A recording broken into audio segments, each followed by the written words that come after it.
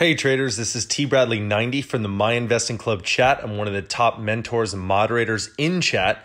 As a special gift to our viewers on YouTube, we have created a free two hour course to help teach you how to start a consistently profitable trading business and identify high paying setups in just 30 days. There will be limited seating every week, so register for the course and reserve your spot now using the link in the description. As a special bonus for everyone that watches the entire video, we will give you the link to a free 10 hour additional mini course that has never been released to the public. Register now before all slots completely fill up. All right, guys, we have a very special video for you guys this week as our Options Basics series, episode four, is ready. And while today is just a preview of the full length video, if you want to watch the full length or any of our exclusive content, then become an MIC member. Hello, MIC members. This is John, AK Wildlife, in MIC Chat, back for our fourth episode of Options Basics. Um, just wanted to say thanks to the people that reached out or provided some comments on the first few videos. Uh, all of them were extremely positive, so um, I'm going to continue to uh, make content as long as people are willing to spend the time to uh, listen to the videos and uh, learn something. So uh, just say want to say thanks. And again, if there's anything specific that the you didn't understand or have questions on that you want us to discuss or want me to discuss in one of the videos, please DM me. Um, any questions, more than happy to help in uh, any way that I can. So uh, we'll just continue on um, real quick. We've talked about, in the past, we talked about options, obviously, but what calls and puts are. We talked about option premiums, kind of how that's um, derived, the big factors. We talked about expiration dates, uh, option strings, and naming conventions we talked about as option traders what our edge is, and so um, is known as pretty much uh, AKA implied volatility. Uh, we talked about ticker VIX, how we as option traders uh, want to pay attention to this and kind of at what levels there that we kind of get a little more interested in. Um, and then we talked about how important implied volatility rank is. Not some we did talk about implied volatility, kind of what that means, but how important implied volatility rank is as it puts um, relativity to the current levels of implied volatility. So the next part um, we're going to go over is the Greeks, and I'm not talking about any characters from uh, the Big Fat Greek wedding movies or any of those or Greek mythology. So those might be a little more interesting than what we're going to discuss. But uh, nonetheless, they're uh, the Greeks are some important parts of you know options. And just a quick basic uh, rundown is what I plan on doing.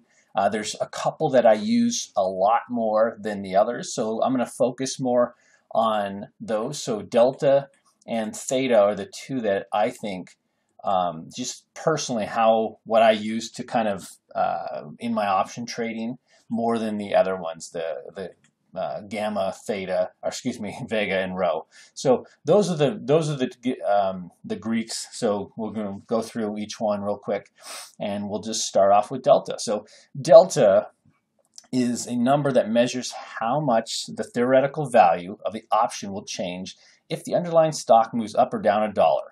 And the key part with this one is all things have to remain equal because because obviously option premium, a big piece of it is implied volatility. So if implied volatility stays the same, what this delta is taken is measuring is if the stock moves up a dollar, you know what uh, what the option price should move, you know, towards. So um, we're going to go down into an example down here. So we'll take a you know then we can kind of put it into mathematical uh, visual uh, terms so we can kind of see where we're at. Um, so another thing, uh, at the money options, deltas are always close to 50. And so um, I'm going to open up my option string. I'm going to go jump into November. So they're 45 days out to expiration on the day that I'm recording this. So I'm going to click on that. So here's my in the money, out of the money line that Tastyworks, um, for those of you who had watched the other videos, knows that this is the platform that I use to kind of uh, get some great information, IV rank, and some you know visual. Uh, the, I use a table view. It's just easier for me to look at real quickly. But you can see right at the money these deltas. So here's the here's the delta column right here. See 53 for this one that's 95, 51 or 0.51. I'm just saying uh, 0.47, 0.49. So these are right around 50, right here around that line. That's what this is illustrating. And so uh, the more in the money the option is, the closer the delta is to 1, and that would be on the call side, because uh, calls always have positive deltas, right? Um, and then on the put side, puts always have negative deltas. So what we'll, what I'll do real quick is I'll scroll up so you can see these numbers are slowly going up going up, going up, getting closer to one, getting closer to one.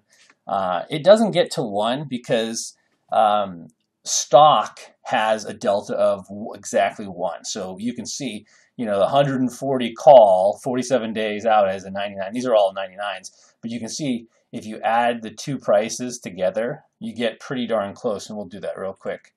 Um, so bring my calculator in. So 140 plus you know, it's 150. We'll just, you know, even if we did the 155, 155.95. Um, so it's basically, it's saying 295.95. That's pretty much, you know, right around. Even if you if you split the difference, you'd be right at the the current price. So this this call right here is going to, and majority of these are going to act like long stock. So uh, same would be true with the puts the higher you go. So these these puts are in the money because they're above the strike price. So anything in this delta, you can see 99 is going to act like a short. Um, you're short 100 shares of SPY. So that's kind of how you look at uh, the delta. So when um, so the example we gave, so uh, stock XYZ has a tw uh, 20 call, $20 call has a 50 delta and is trading at $2. So that's the option premium, okay? Hey traders, this is Tosh. I go by T Bradley 90 in the My Investing Club chat. Just wanted to reach out and say if you have any questions about MIC, joining MIC, maybe you're a member already, you have three ways to contact myself personally and through MIC. You can hit our social media, you can hit me through PMs in chat, or you can contact us through my email at tosh at myinvestingclub.com. That's T O S H at myinvestingclub.com. I will get back to you in a timely manner. And I'm saying this because I'm here to help and I don't want anybody to be afraid to reach out and ask any question that they have. We are here for you guys. All right. See you guys.